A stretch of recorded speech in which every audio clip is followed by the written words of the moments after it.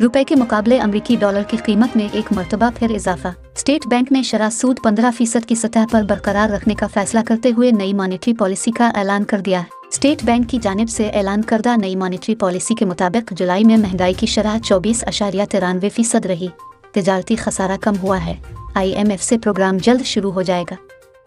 State bank of Pakistan के मुताबिक मुख्तलिफ़ तरक्की पजीर ममालिक ने भी शरह सूद में तब्दीली नहीं की। जारी खातों के खसारे को काबू में रखना पहला हदफ है।